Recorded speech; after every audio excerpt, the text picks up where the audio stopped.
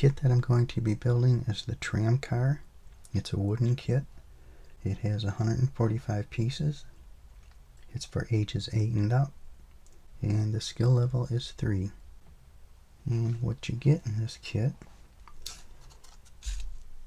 piece of sandpaper, two pieces of clear plastic, a tube of glue.